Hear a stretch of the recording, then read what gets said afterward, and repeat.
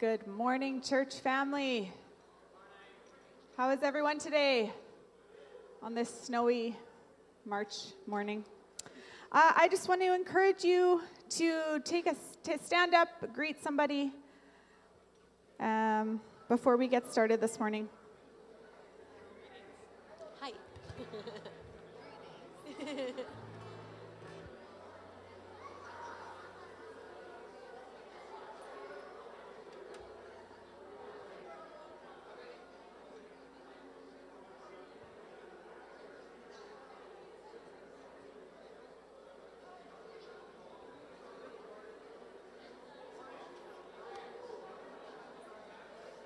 It's crazy how empty it is, and by like the end of the first song, you like like open up the house. And, oh, there's like people in here. There's like nobody here right now.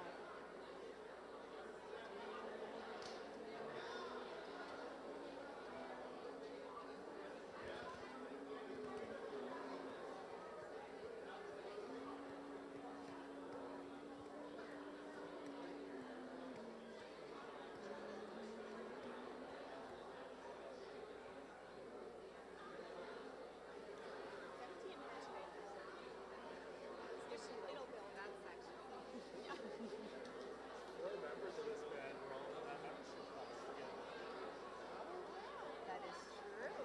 Cool. That, that is pretty cool. There might be a bias here. I don't know.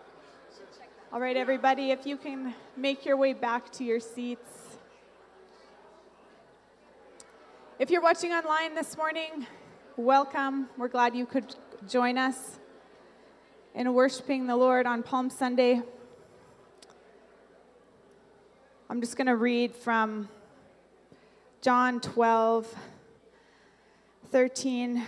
Jesus, when he came into Jerusalem, the people took the branches of the palm trees and went out to meet him and began to shout, Hosanna! Blessed is he who comes in the name of the Lord, even the King of Israel. Lord, I just want to thank you for coming to this earth, knowing full well what you had to do to save us. We are not worthy, but God, you love us.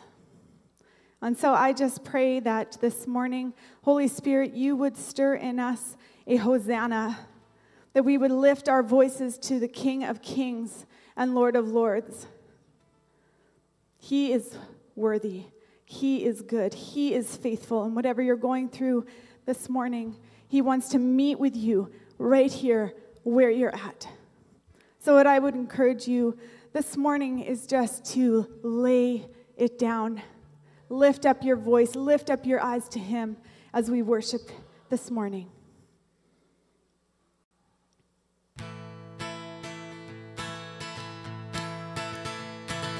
Put your hands together.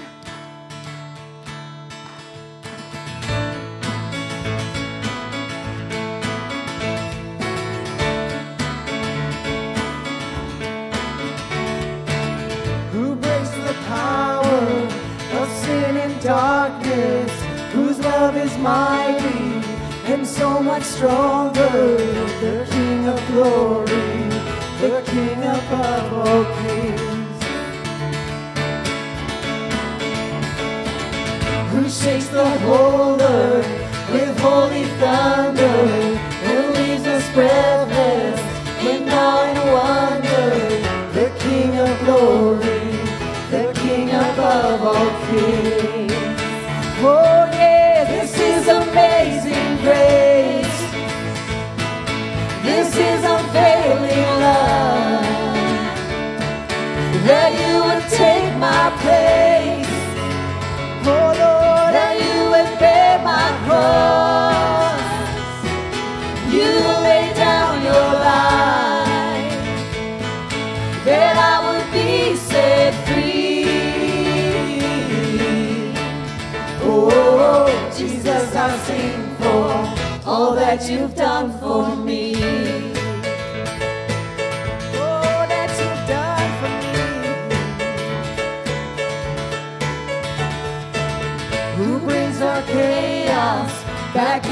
border who meets the orphan, a son and daughter, the King of glory, the King of glory, who rules the nations with truth and justice, shines like the sun in all of His brilliance, the King of glory, the King above all kings.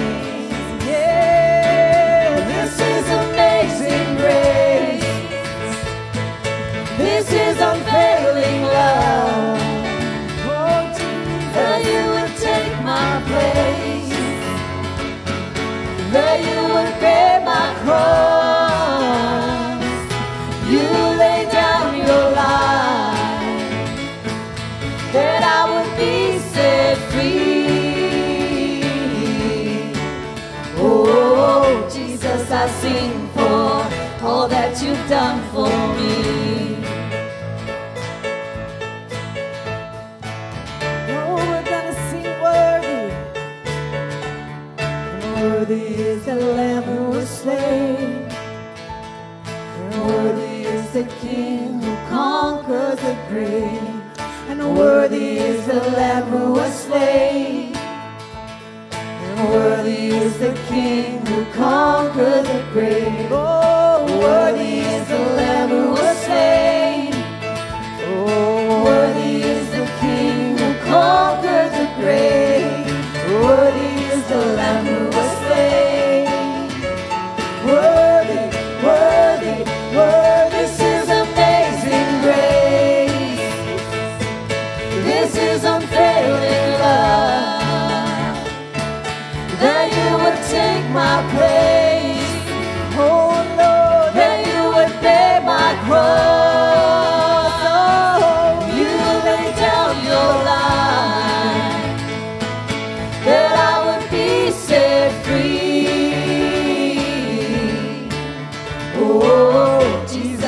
sing for all that you've done for me.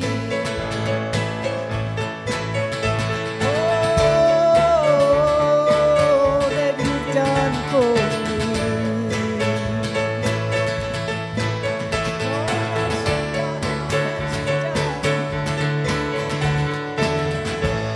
Oh, amen. Let's give him a praise offering.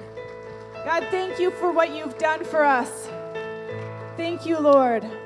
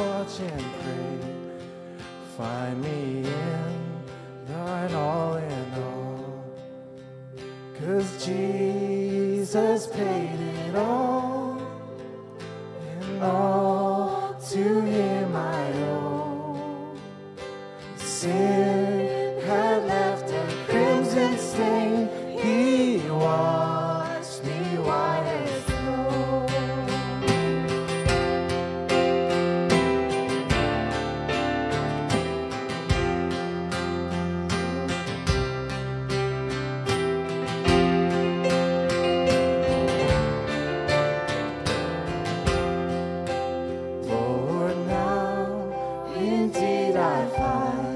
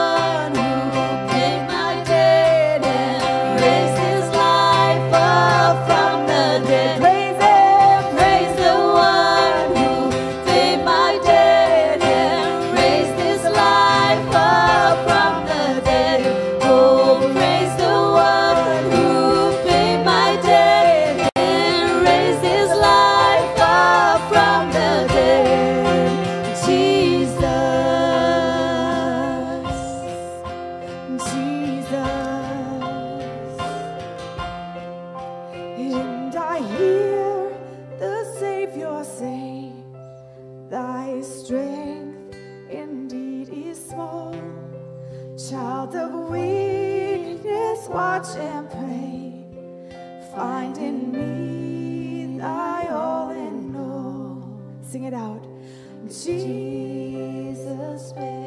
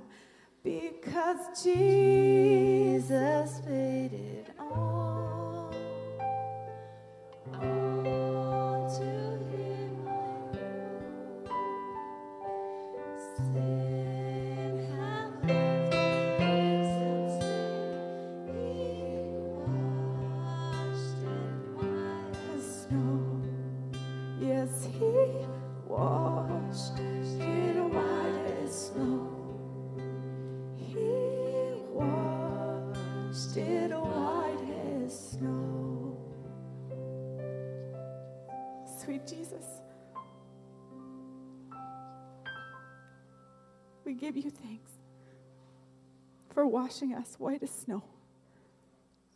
And we ask that you would continue to change us and to move through us this morning. All we can say is thank you. Amen. You may be seated.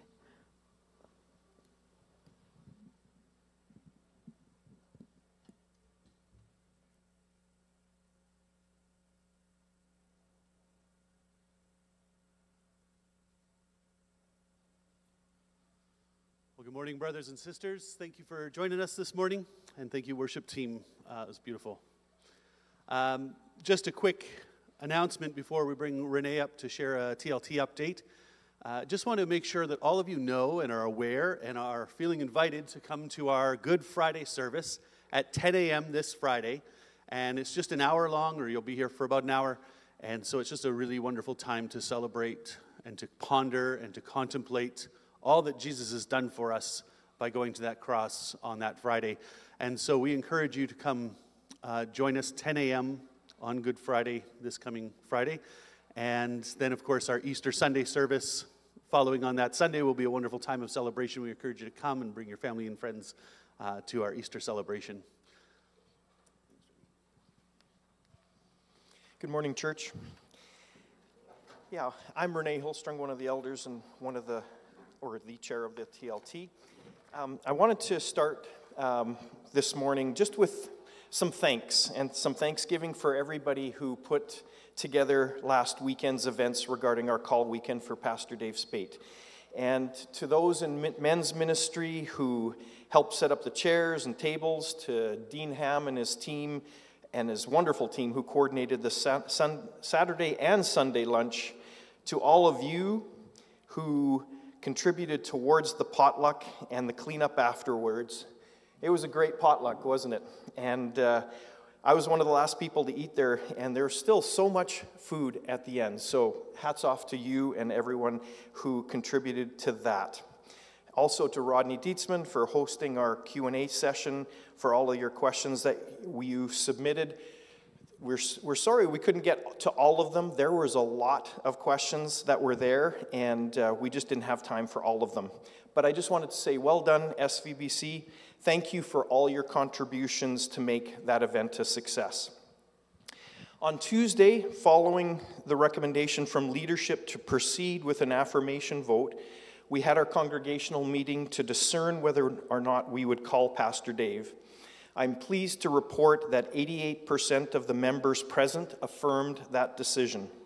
It wasn't without some drama, though, as th- those who were there can attest to. Who knew that Robert's Rules of Orders would play such a significant part? But uh, following the meeting, I discussed the results uh, and how the meeting went overall with Pastor Dave and his wife Kathy. He asked for a time to pray about this and with his wife, and then the next afternoon, he informed me that he had accepted the call to serve here at SVBC.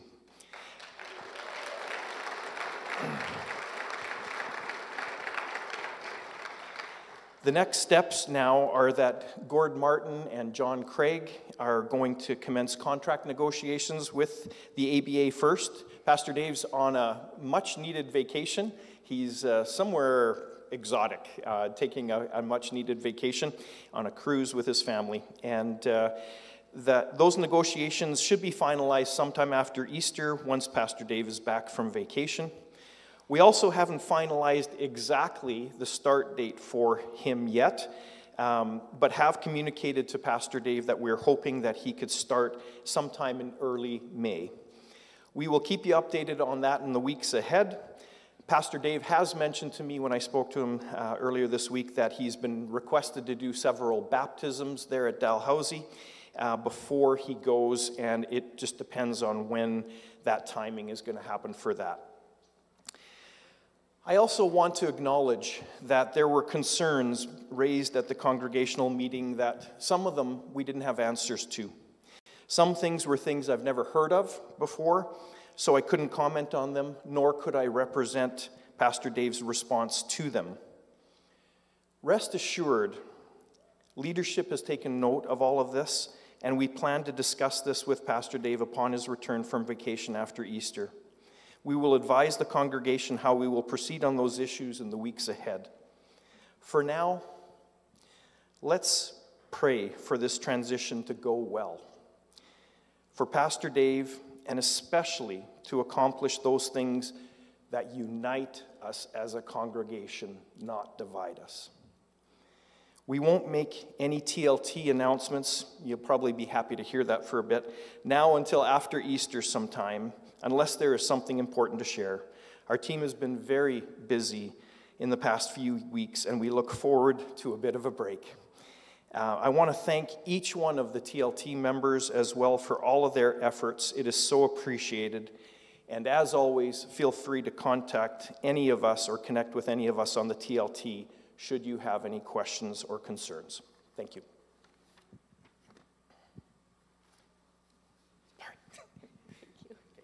Good morning. Uh, just a few updates for kids ministry. Uh, today's Palm Sunday, so it's a week before Easter.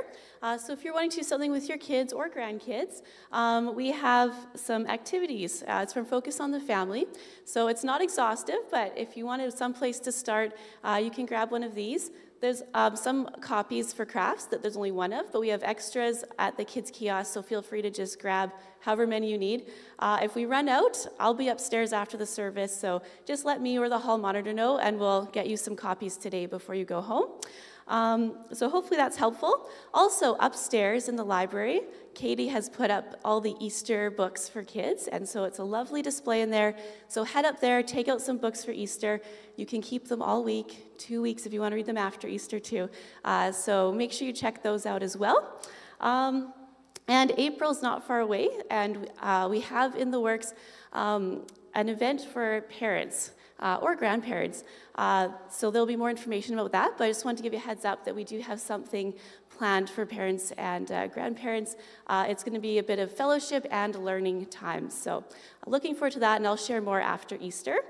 Um, and lastly, we had our volunteer training, one of a few, because not everyone could come, so we'll have uh, at least one more. Um, but it was just such a great reminder how how much God provides for us. He's provided um, the people we need all year to run our kids' church on Sunday mornings. And they are awesome volunteers. They love Jesus. They want to share Jesus with your kids. They love your kids. And uh, so I just, if you see a volunteer today or in the weeks to come that have been helping in kids' ministry this year, just give them a thank you. And uh, it's always good to have a little encouragement. So uh, that's all. Thank you. And kids, we can head upstairs.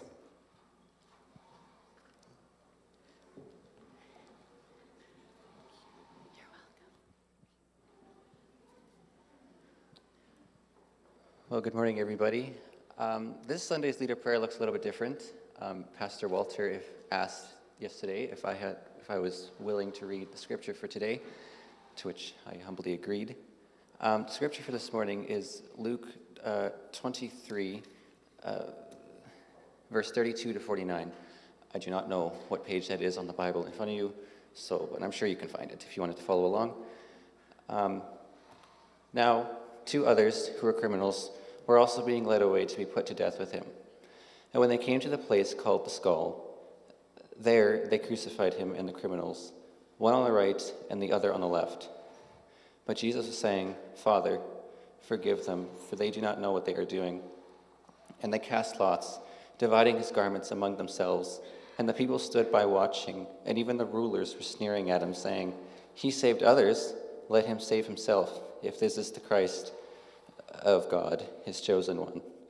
The soldiers also ridiculed him, coming up to him, offering him sour wine, and saying, If you are the king of the Jews, save yourself. Now there was also an inscription above him saying, This is the king of the Jews. One of the criminals who were hanged there was hurling abuse at him, saying, Are you not the Christ? Save yourself and us.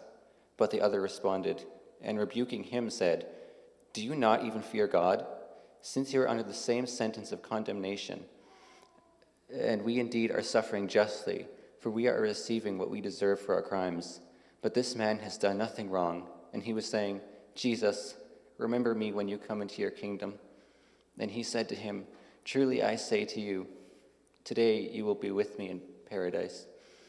It was now about the sixth hour, and darkness came over the entire land until the ninth hour, because the sun stopped shining, and the veil of the temple was torn in two.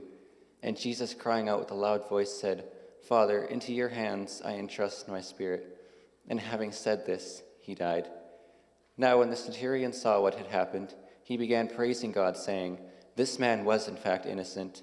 And all the crowds who came together for the spectacle, after watching what had happened, began to return home, beating their chests. And all his acquaintances and the woman who accompanied him from Galilee were standing at a distance, seeing these things. Would you pray with me? Father, we gather today to worship and praise you for who you are and what you have done. You are mighty, powerful, and our Savior. Thanks be to you, God.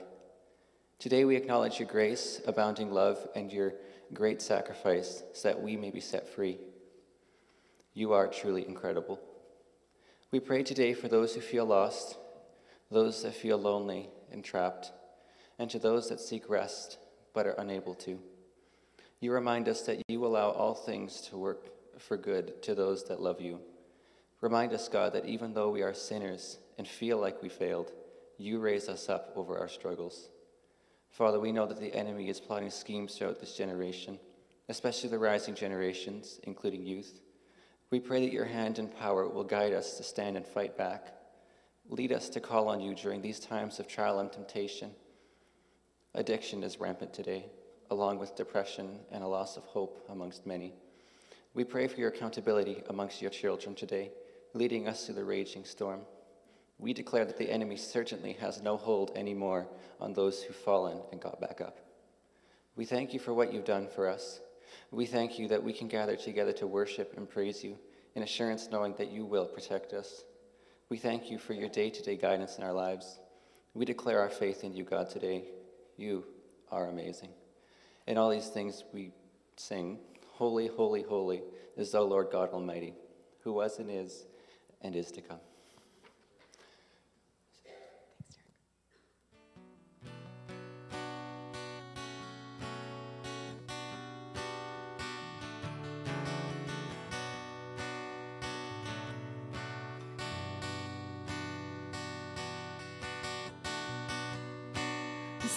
Savior, I come, quiet my soul.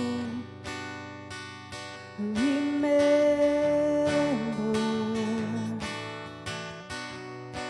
redemption's hill, where your blood was spilled for my ransom.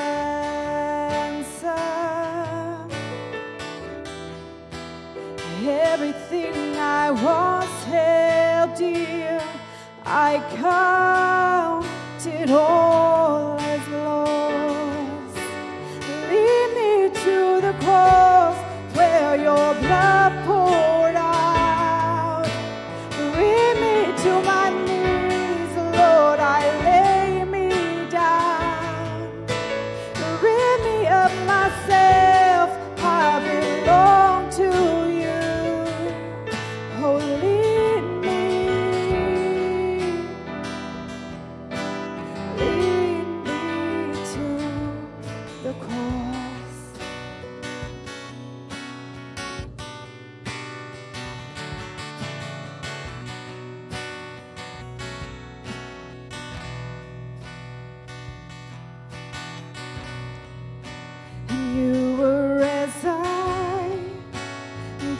tempted and tried.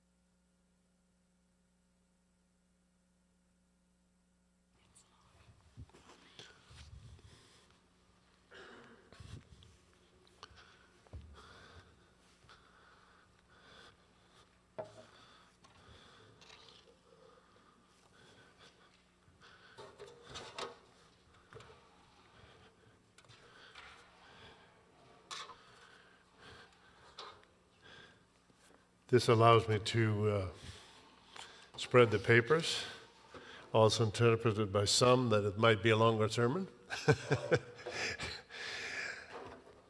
good morning. And trust you had a good week. And we look forward as to what the Lord has for us from His Word this morning.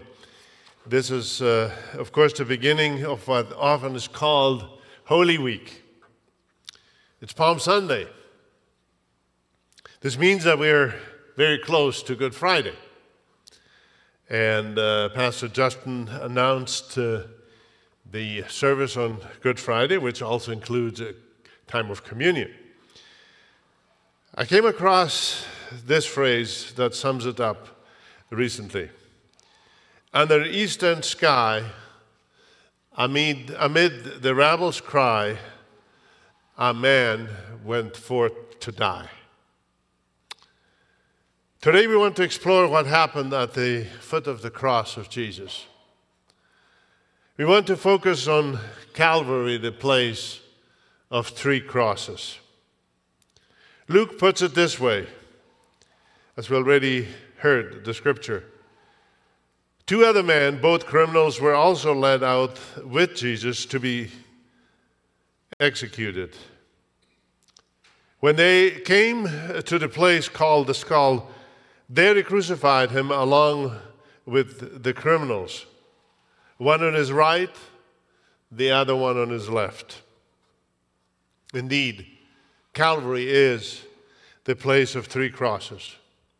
Now, to us, 2,000 years removed from that awful day, one cross, of course, stands out.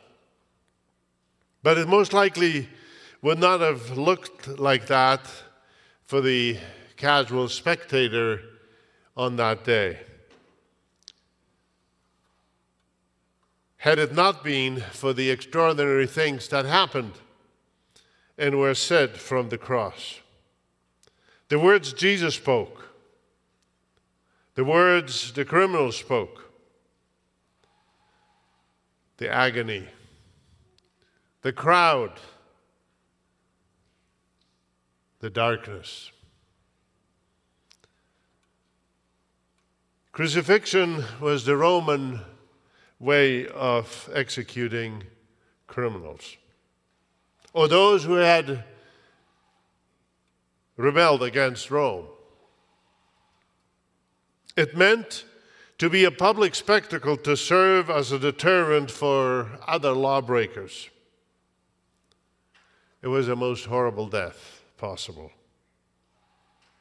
So we've always seen the picture of three crosses.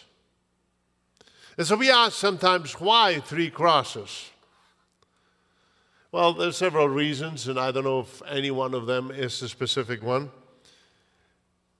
It was less work for the soldiers if they could execute several convicts at the same time.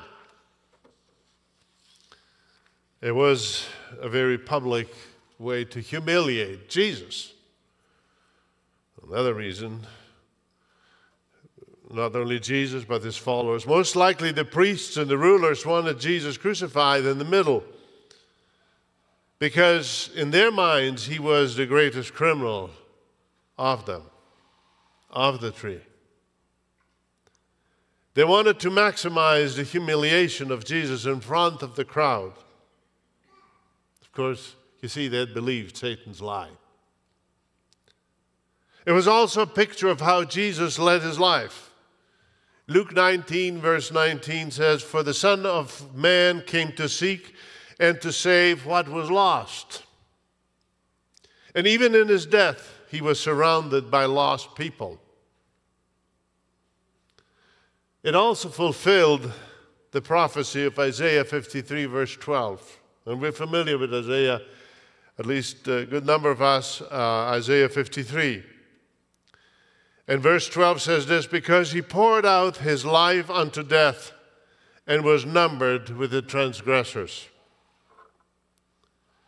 Jesus did not die alone. Now we realize that God was present there as well, but he had two human companions with him. The crosses were the same, the method, the methods were the same, yet the three men were very different from each other. Jesus, of course, was without sin. The others, of course, were criminals. So let's look at the three crosses and those who were on them. What do they teach us? What can we glean from that this morning in a very specific way? First of all, there is, of course, the cross of rebellion. On the cross of rebellion was a shameless and hardened man. Verse 39. One of the criminals who hung there hurled insult at him Aren't you the Christ? Save yourself and us. He was doing much more than just teasing Jesus. He was bitter and sarcastic, as he, of course, had been uh, throughout his life, it appears. He would not have started out that way, but he had turned out to be that. He was spurning the good even in the day of his dying. It has been said that he was cursing his way to hell in the most solemn day of all of history. He threw away his chance of forgiveness. He died as he had lived in sin. Now he spoke to Jesus like the other one did. Save yourself and us. Of course, when you read the other Gospels, and all four Gospels report the crucifixion of Jesus, not all of them report specifically on the birth of Jesus, but they do about his crucifixion and his death and his resurrection. You see, this man wanted to be delivered by Jesus from his pain. But he wanted a Christ without a cross. He wanted relief, but without repentance. And even today, many seek a Christ that will fulfill their dreams, but not one who would save them from their sin, would change their lives. They're not interested in changed lives. They want someone to fulfill their dreams but without the changed life. The truth is that this continues to happen in lives of people who reject Jesus today. Some are indifferent to the gospel. They don't necessarily reject Jesus, but they are indifferent. A pastor was working in a gym when he briefly struck up a conversation with, with the man next to him, working out on some other equipment. They commented how good it feels to exercise. And indeed it does, doesn't it? Then the man said to the pastor, course, he didn't know it was a pastor, this is all there is to life. We just have to stay in shape to keep healthy. Pastor slowly nodded and, and then said, We need to work on the inside as well because this outside stuff is just going to turn into dust eventually. We're just prolonging the process. It's going to catch up with us sooner or later. To which the man just kind of looked at the pastor and sort of shook his head and sort of said, Well, yeah. But never responded to what really mattered. You see, this thief on the cross, even in these last moments, would not focus on what really mattered. He remained in a state of rebellion. This is the way many people live their lives, even today.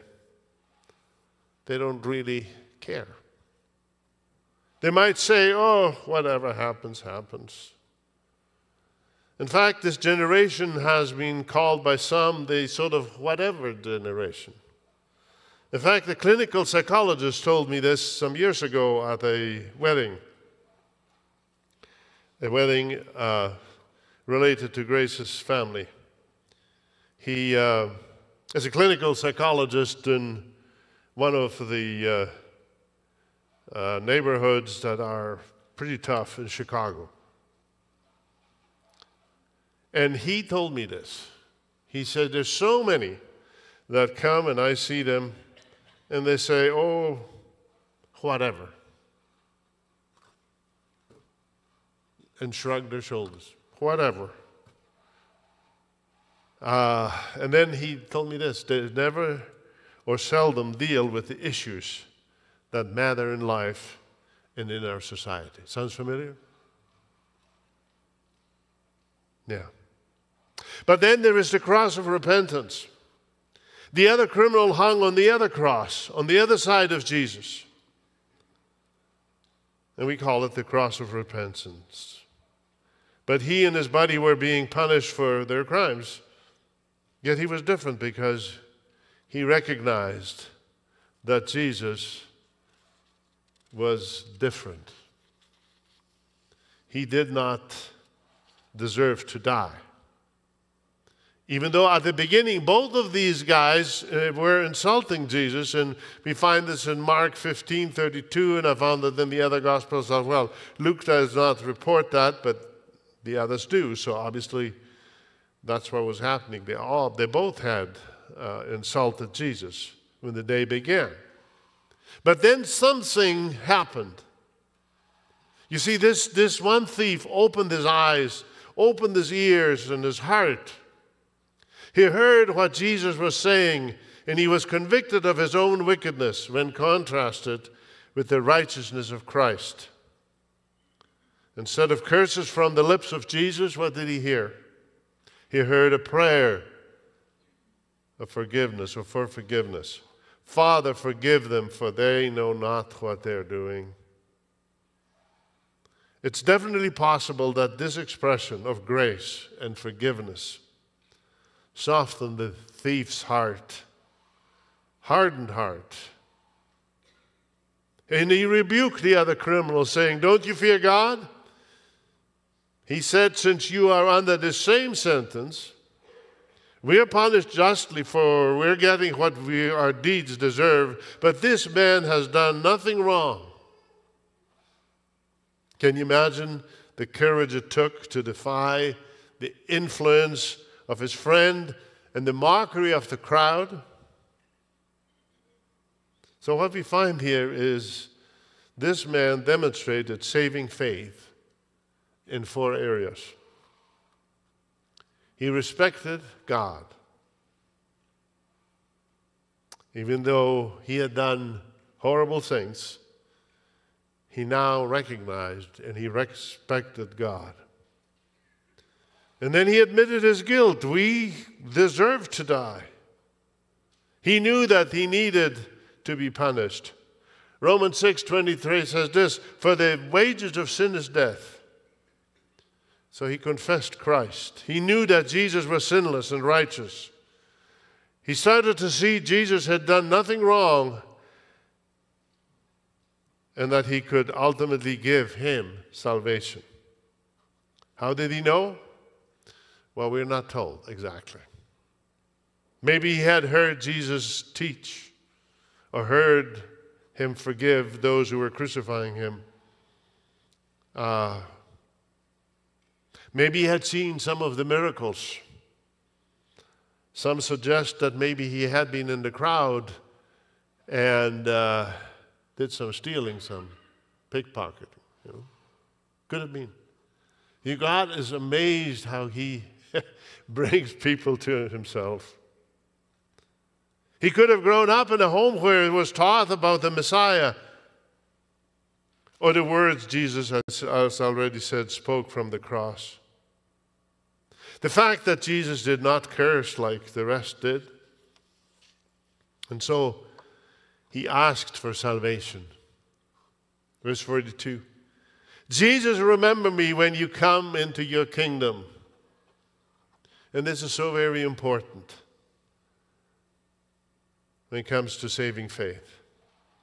He did more than just respect God, he owed up to his guilt and saw Jesus as sinless. He also reached out to Jesus to remember him. He was doing what John 1:12, Gospel of John, right in the first chapter says. Yet to all who received him, to those who believed in his name, he gave the right to become children of God. The response from Jesus was immediate in verse 43. I tell you the truth, said Jesus. Today you will be with me in paradise. Jesus said, Today. As soon as you take your last breath, you will be with me in paradise. You see, Jesus saved the man while he was on the cross. And this is important.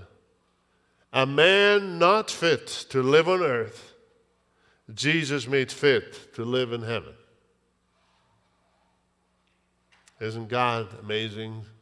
It's His grace beyond human comprehension. You see, and then the cross of repentance teaches us some valuable lessons. Salvation is simple. We have this idea that it could not be that simple. The devil has blinded the eyes of men, women, boys, and girls into thinking that it's hard to be saved. It's next to impossible because we're not good enough. But this clearly is not true. The man on the cross was saved simply by asking the Lord to save him. Now, in the words of the request, there is surely an attitude of repentance as he threw himself on the mercy of Jesus. And that is all that is necessary to be saved repentance and faith in Jesus Christ. And then we find that the worst can be saved. Now, this man on the cross was a lawbreaker. He had broken the law of the land. He was crucified for that reason, and of course, he had sinned against God. But no one is too bad to be saved. For as the hymn writer puts it so well, the vilest offender who truly believes that moment from Jesus a pardon receive there's clear proof here that Jesus can save the unholy, the unfit, the unclean, but He doesn't save the unwilling. We have to be willing to come to Christ. And then it is never too late to come to Christ in this life. And the key is this life. No, no, no, we are not to wait and wait because like this this this thief on the cross did. Because death can come at any moment. You see, the, the thief on the cross had one final chance and he took it. We have chances. And I trust you have taken that opportunity. If not, you can do that today.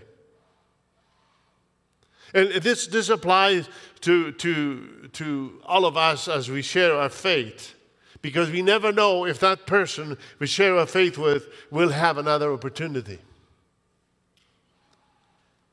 And so we need to use the opportunities God gives us to share our faith. And we never know when that's going to come.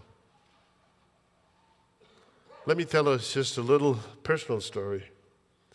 About five or so years ago, we traveled from, from uh, the LA area, Los Angeles areas to Phoenix.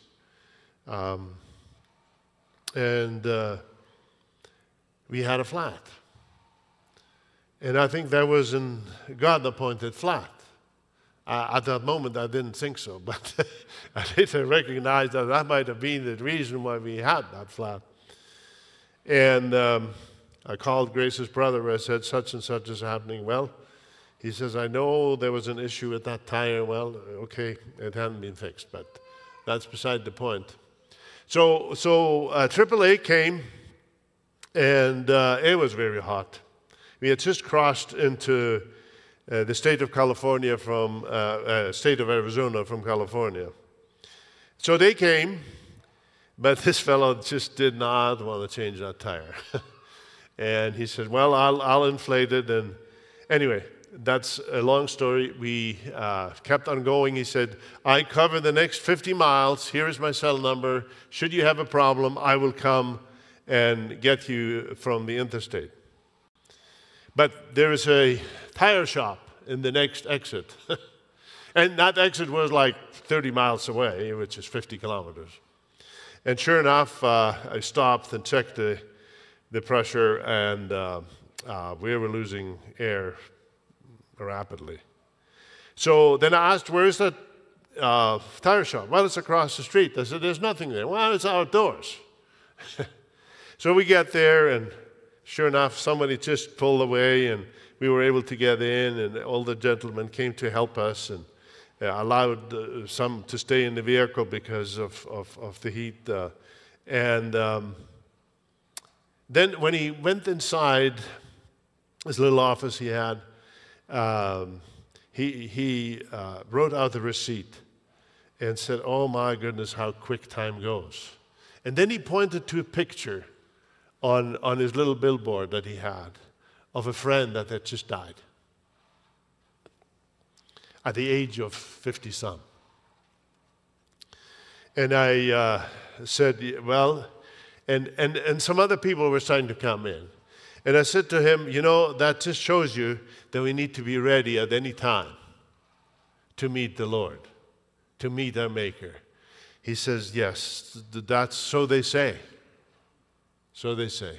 Well, I said, You know, let's make sure we are ready to meet our Maker. And by then, somebody else came in, and uh, I, I don't know what he did with that information, but I had that opportunity to tell him. And we never know when it's going to happen.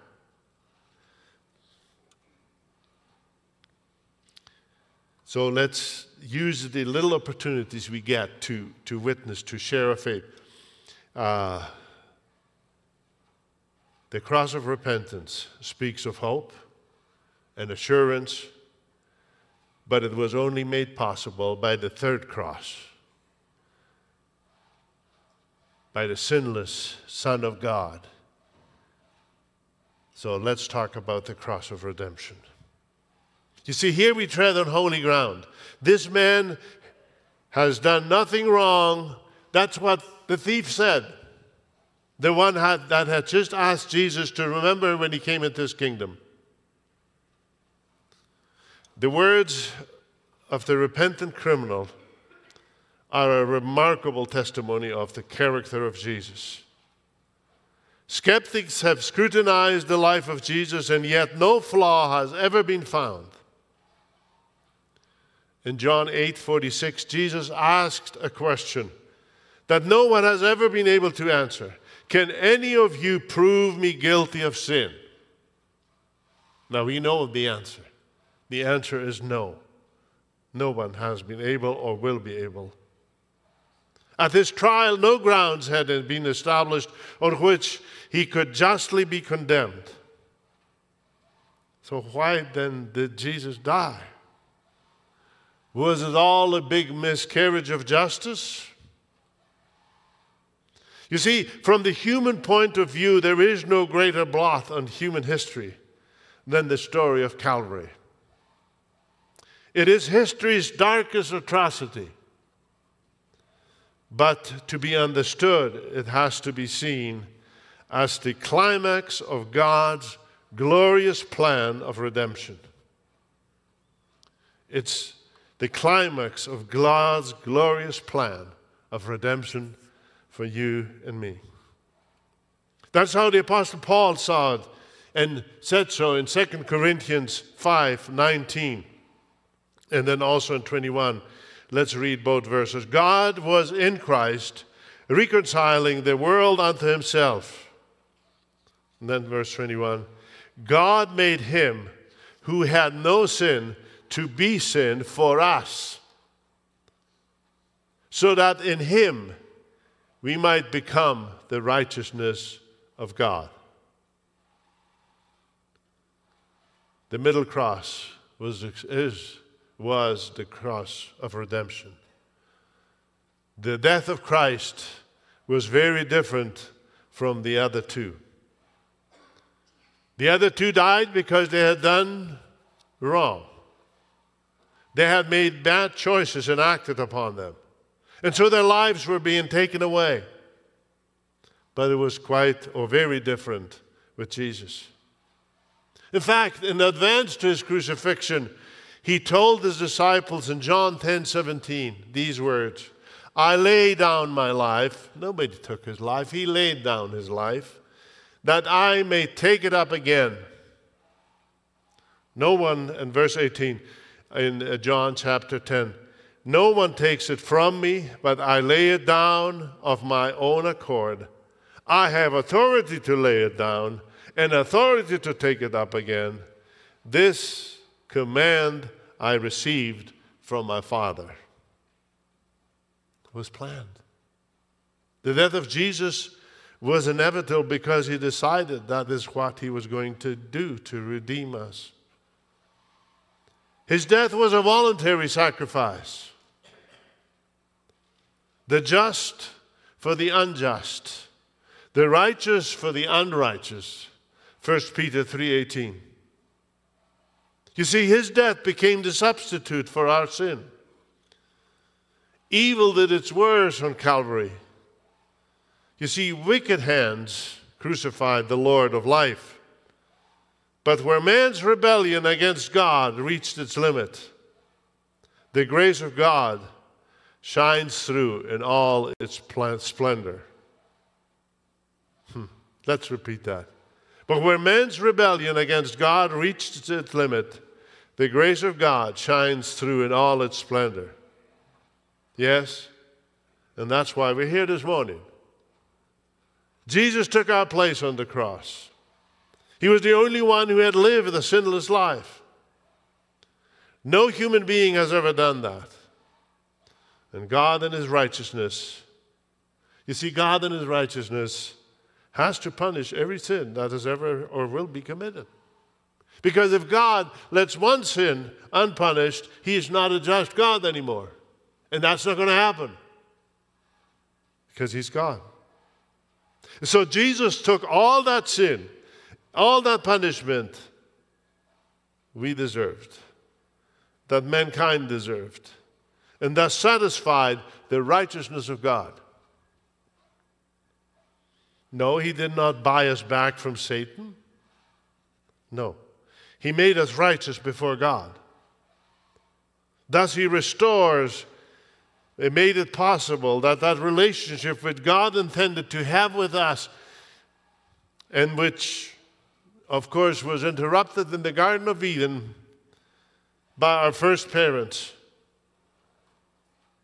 Because he created in his own, uh, in, in his own image for fellowship with him. We're destined for that. And remember, I said that about three weeks ago. He crushed serpent's head. Genesis 3:15. The question becomes what cross best describes us today? In a sense, everyone in the world is in one of those two crosses, symbolically, of course. We're all guilty and deserve, of course, to die. So, which cross are you on today? The cross of rebellion or the cross of repentance? The cross of repentance leads to salvation and eternal life, which God wants for us. The cross of rebellion leads to death and eternal separation from God. Now, of course, the cross of rebellion teaches us that no one should put off a decision to follow Christ. We're all in need of the cross of redemption. Now, that's not to say we need to make a public confession every Sunday and come forward and all that sort of thing. That's not what we're talking about. But each day we need to, what I'd like to call, and I tell myself that, to be confessed and prayed up to date. You sleep better that way. Wouldn't you agree? Uh, you see, because of the cross of redemption, we have to choose between rebellion and repentance. To not choose between is to choose rebellion. Look at the cross of redemption. See him there with his outstretched arms, waiting to grant forgiveness to all who come to him in repentance and faith. Under an eastern sky, amid a rabble's cry, a man went forth to die for you and me. There were many people who were instrumental in crucifying Jesus. There were the teachers of the law, the Pharisees who hated him, the traitor who sold him, the priests who bought Jesus' betrayal, the people who said, Crucify him, crucify him, and even the disciples who des- deserted him. But you see, the story remains academic unless we reach, or, uh, unless each of us admit, I was there too. My sins nailed him to the cross. My sins nailed him to the cross. Christianity is nothing at all if it's not personal. In a very sense, you and I were at Calvary. So, who nailed Jesus to the cross? If you look closely in your mind, you see the hammer in your hand. I see it in mine. You and I, our sin, nailed him to the cross. He took our punishment now, you've seen an insert today that maybe you wondered about. Something very simple. It's, it's a simple cross. Now, this is bigger than yours because I printed it off from the website. It's on there, church website. as an insert this morning. And today we want to just focus on that cross for a moment. Uh, and for you to be able to maybe now or when you take it home, write down what you're specifically struggling with in your spiritual life uh, and to leave it with Jesus. Nail it to the cross. Nail it to the cross. Remember the song. Then came the morning. The garden, the jail, the hammer, the nail. How could the night be so long? The fact is, Jesus took the nails. He took the night for you and me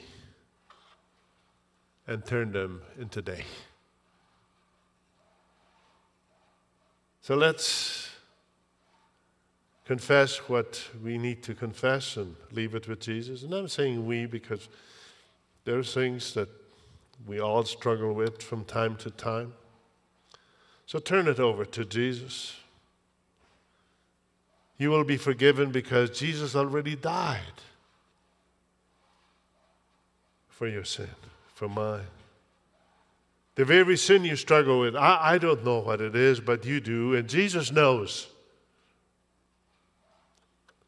It might be as simple as envy. And one thing that I just wrote in this morning could be greed, but it could also be bitterness, unforgiveness, a broken relationship, someone you have not talked to for a while and you need to talk to.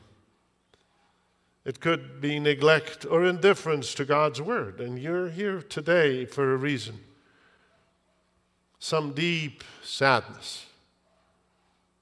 You've, we've all talked to people or perhaps experienced our, ourselves some very deep sadness uh, caused by all kinds of things. Sometimes it's grief. Um, I mean, this is a symbol. Um, but I shared it with several of you, and, uh, and, and this is no bragging right on mine. I've preached a couple thousand for sure sermons, and it's always a bit of a struggle before because Satan does not want us to say certain things, and he doesn't like the cross. He denies the cross. That's because that's where he is defeated and continues to be defeated. It's the blood of Jesus. You see, Jesus did it all for us because he loves us. He loves you with an everlasting love. So leave whatever brokenness you have in your life with Jesus, leave it with him. He can and will heal that brokenness as you sincerely, and this is so important, sincerely and unconditionally leave it with Him. The tendency is that sometimes we leave it with Him and then we go and pick it up again. We've been there, right? Remember, that's why He went to the cross, because He loves you. So let's take a moment to write these things down if you'd like now or just in your mind. Just uh, say these are, these, are, these are very, very holy moments. Um, this is what Jesus came for. You see, it's no gimmick. It was not then, it isn't now.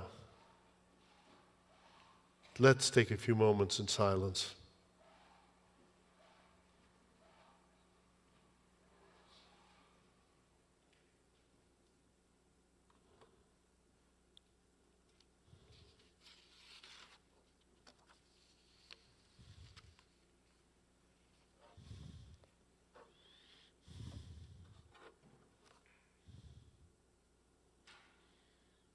remember again Jesus on the cross of redemption is there for us every day and every hour. And praise God, He did not stay on the cross, He rose again.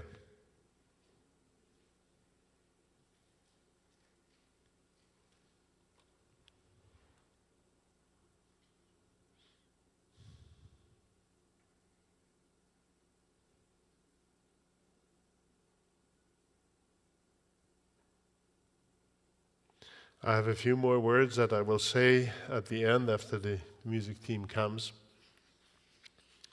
And I will say them from down below.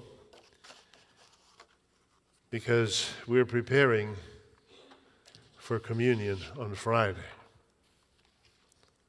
In our hearts, in our minds, throughout this holy week. Amen.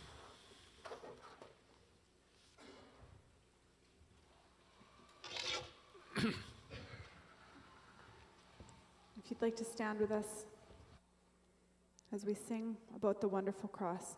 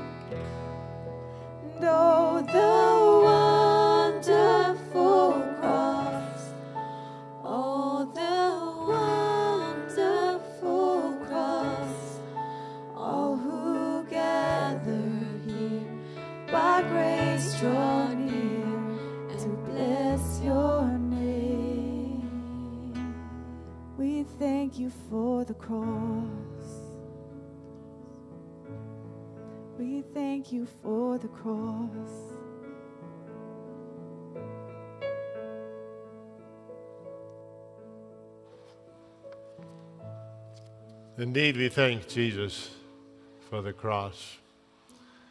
He took our place. Isn't it interesting that we never are called to commemorate the birth of Jesus? We're not commanded that in Scripture. We do. That's but one request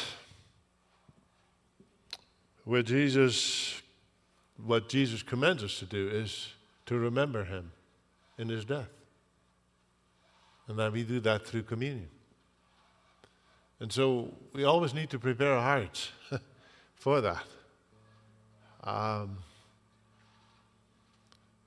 and he told us to observe that until he comes again. And so we will do that on Friday. It's only appropriate that we would do it on Friday. He tells us to remember. Uh, you see, the cross of redemption is so key. And I don't know if you wrote anything down, and that's fine. If you had something that you needed to confess, you confessed it to the Lord, you're forgiven. Praise God. And if you haven't, do it the end of the week. This is Holy Week. Set aside, in a sense.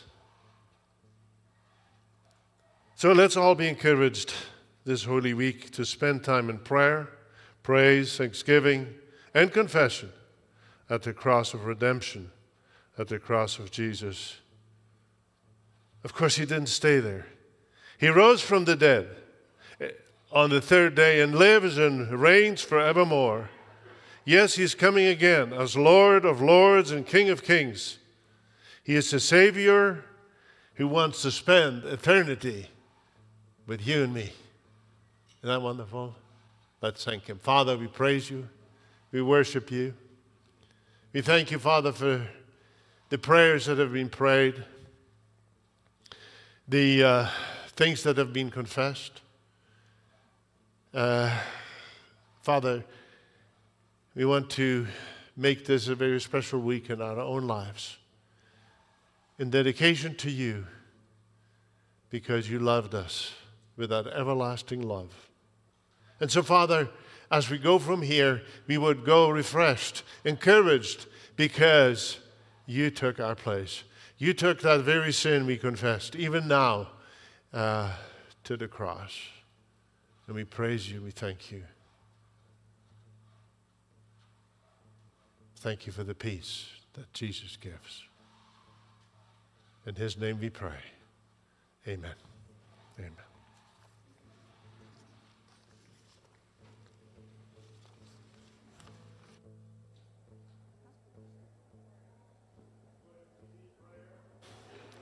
There will be some of our elders that, are, that will come if you come to the front.